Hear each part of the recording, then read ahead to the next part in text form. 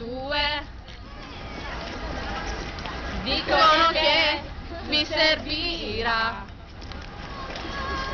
Se non riuscite, fortifica. Mentre passa distratta